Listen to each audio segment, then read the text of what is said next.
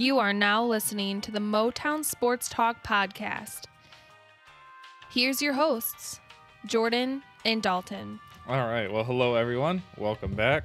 Today is Monday, March 1st, 2021 and we've got just a little over two weeks until NFL free agency starts. So today we've got a little bit of a shorter episode. We're just going to kind of recap. We're going to continue our look at the possible free agents that the Lions might try to bring in later this month. Today we're going to look at the linebackers, defensive ends, but we'll do a little discussion about the Pistons at the end. Again, there's really not much to discuss with them. Yeah, so I guess let's get into it, and I guess I'll let you start, Dalton. Who if you had to pick for, we'll start with linebackers. If you had to pick your number one free agent linebacker for the Lions to sign, who would you want them to take? So my number one linebacker that I definitely think the Lions should 100% go out and sign is Matt Milano from the Buffalo Bills. He is 26. He's going to be 27 before the season starts. So he's going to be 27. So still a younger younger piece. He mm-hmm. played 10 games. He started five. He had he played 31 percent of the Buffalo Bills defensive stat. He had 45 tackles, 4 tackles for loss, 9 quarterback hits, 3.5 sacks, and 3 pass breakups and 1 interception. Yeah, so when you say that, he only played, what, 30 some percent of snaps last year on that he Buffalo? He played 31 percent. Yeah, 31 percent of snaps. It's really not that much. When you expect like a starting linebacker, you'd think he'd be playing more than 50% of the snaps. I mean, obviously they have some linebackers for positional plays, but again, if you're a starting linebacker,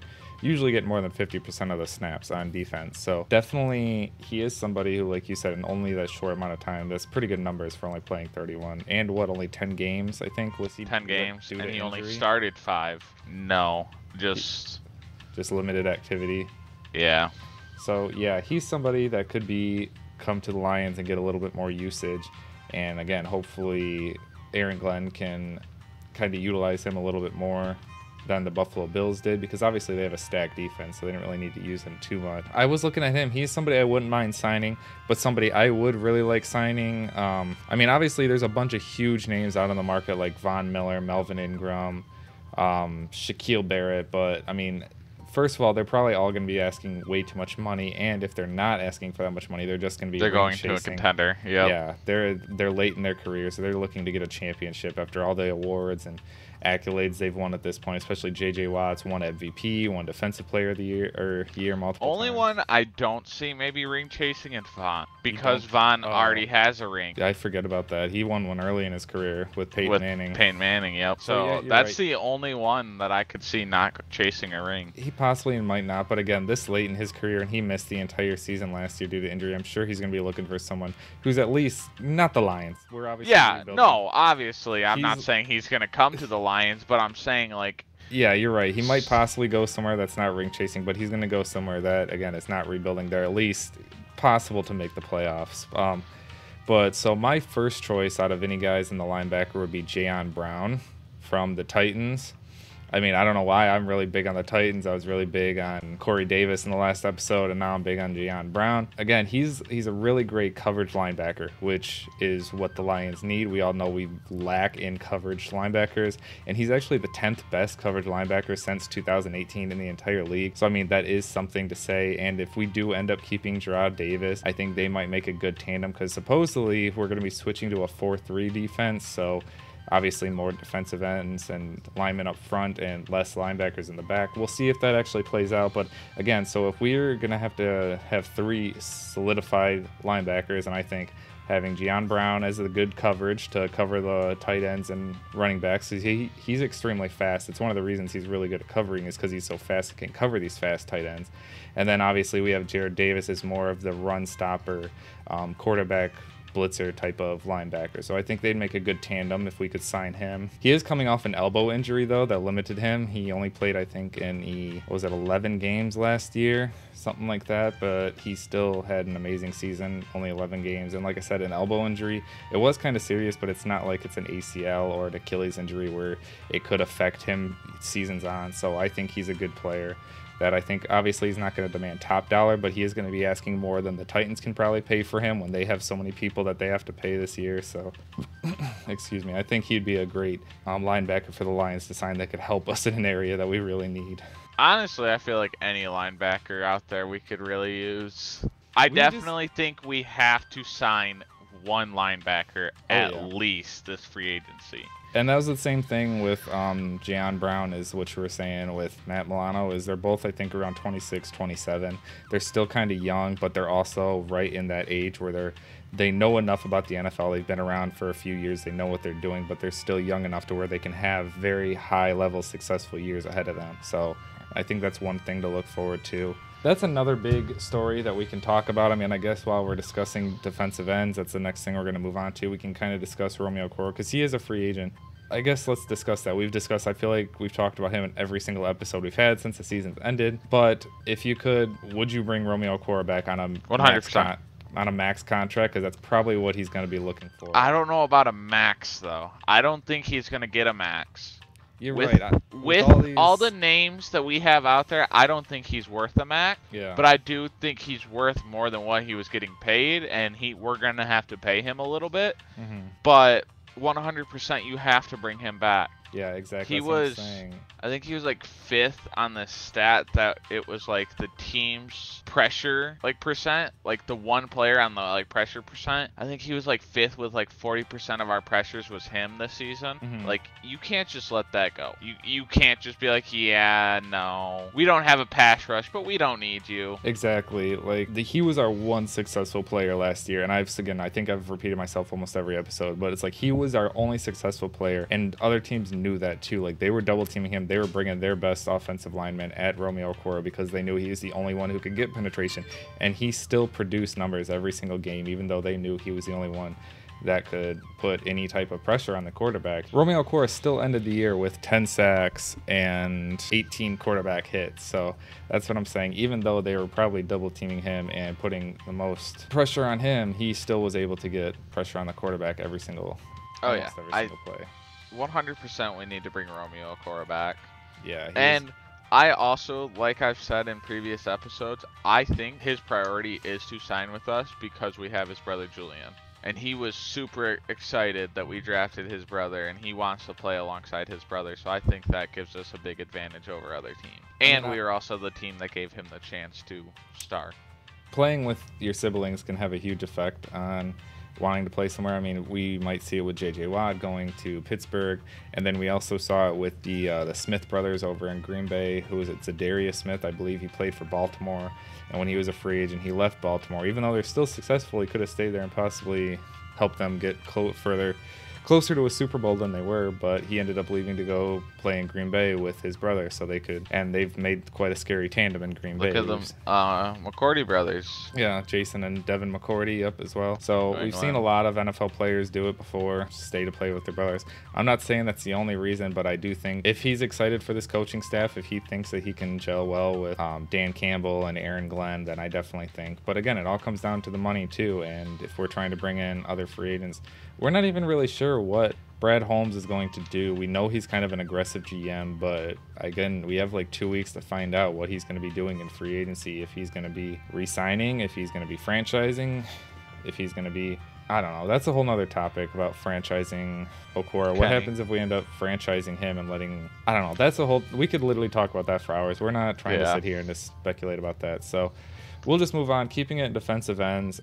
One name that I thought about was maybe Yannick Ngakoue because he did have a kind of down year, so he might not be that big of a price tag, but he also could still be a big price tag. I think he's worth top dollar and Yeah, because obviously he was traded to the Vikings from Jacksonville, and then they ended up trading him to Baltimore. Baltimore.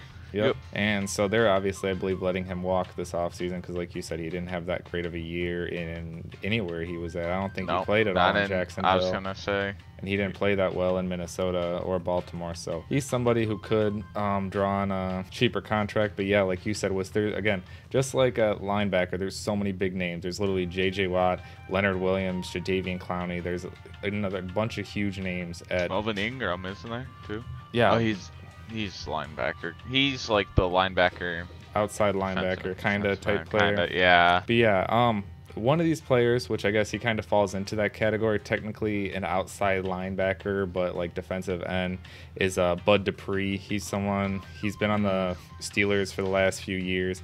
And he was drafted, I think, 22nd overall in the first round, and he didn't have a good. Uh, the first like three years, he wasn't that good. But then they did give him they signed him to his fifth year option on his rookie contract, and that year he ended up having 11 and a half sacks back in 2019.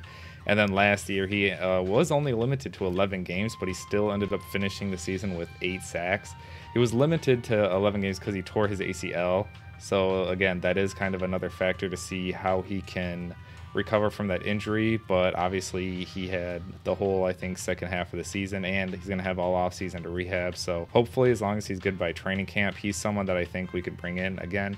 I'm not on a cheaper contract because he is having a pretty big year, but he still did just tear his ACL, so I don't think he's obviously going to be one of the biggest names or draw huge money on the free agent market. So that's somebody I would like to bring in. I think he would do really good in our new system under Aaron Glenn. Glad. But yeah, he's someone he, he's still only 28, and like I said, so it's not like the ACL hopefully is going to affect him the rest of his career. Hopefully he can still recover and still have just like I said with what's his name, Jayon Brown, that he could still have a few great prime years ahead of him. So all right, I guess that'll do it for our free agent talk today. Again, next week we'll continue with a little bit Defensive tackles, maybe, and defensive backs, and that's about it. yeah, maybe we'll do some defensive backs next week. We've only got, like I said, now we'll move on to our weekly Pistons talk. And as I've said pretty much every week since we last three weeks, there's really not much to talk about. As we mentioned last week, Delon Wright is still out, so Dennis Smith Jr. has been getting the start at point guard. And he's slowly been getting better. He's slowly been easing his way into the lineup, and you can tell he's getting more comfortable playing out there. Dennis Smith Jr.'s had the last three games he's done pretty well, but so has Saben Lee. Saben Lee has came onto the scene and has been balling out as a great backup point guard. So honestly, right now, and also Dwane Casey said Killian Hayes has been moving and shooting and working out and stuff, and he said he might be back within next month, but don't quote him on that because it could be longer.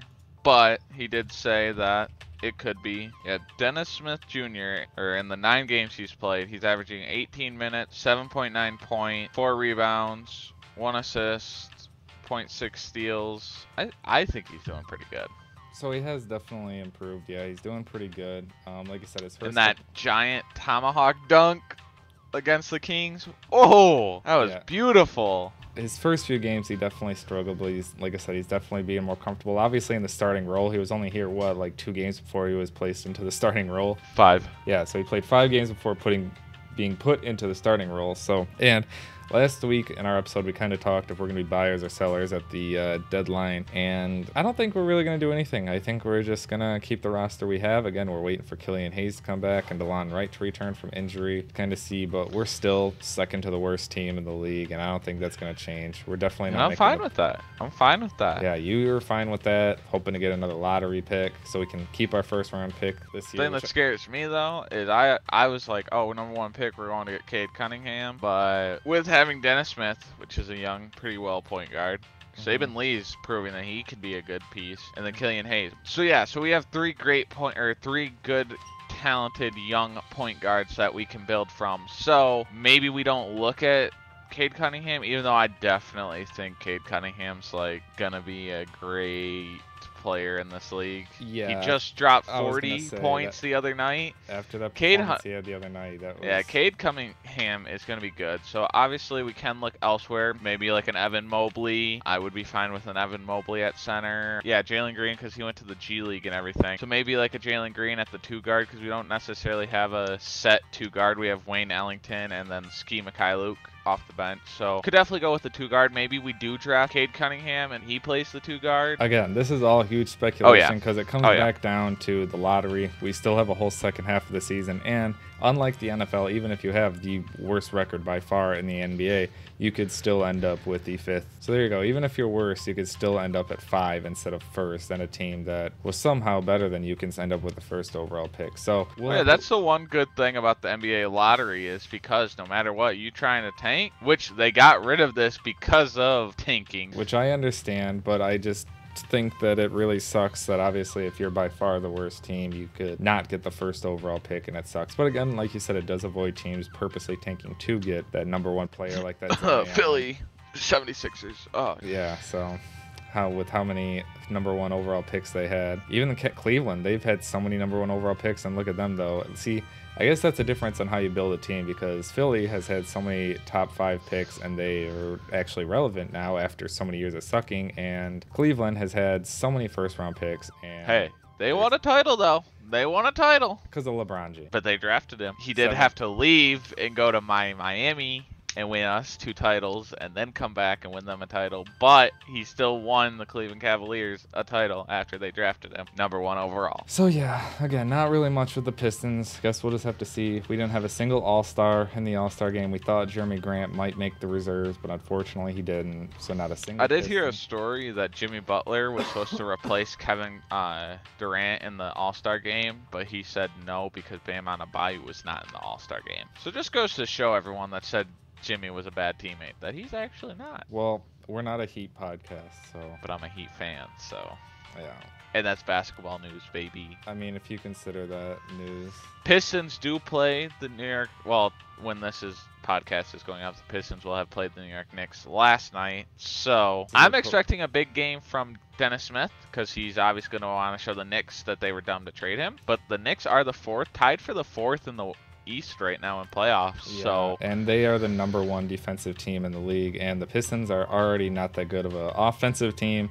So when you combine, hey, that we with got the number one scoring bench in the league. But again, when you combine that with the number one defense in the league, I don't think we can beat the Knicks. I hate to say it, but the Knicks are unfortunately my second favorite team because they have won me so much money on FanDuel. So they're the Knicks are my second favorite team. He's a bandwagon. He's hopping on the bandwagon. Obviously, you think I would have been a Knicks fan last year? Fuck that. No, I'm not a Miami fan, and I've You- been one for years. Okay, you. I'm not saying I'm a New York Knicks fan. I'm saying I'm a fan this year because they won me some money. And if I have to choose between who's winning tonight, well, technically it'll be last night, but I'm thinking the Knicks are gonna win tonight. Yeah. So like we obviously just mentioned, this will be out tomorrow. We're recording on Sunday. Results won't be in, but either way, we're probably gonna lose to the Knicks. I'm going for the dub. The I think Dennis Smith's going to go off. I think Dennis Smith's going to have the best game of his career against New York. Saben Lee, keep playing the way you are. Young rookies, Saddiq Bey, Isaiah Stewart, y'all just keep playing the way you're playing. It's, I'm loving it. It's so fun to watch this team, even though we're losing. It's still fun. Well, all right, that will do it for us. I want to thank everyone for tuning in. See you again next time.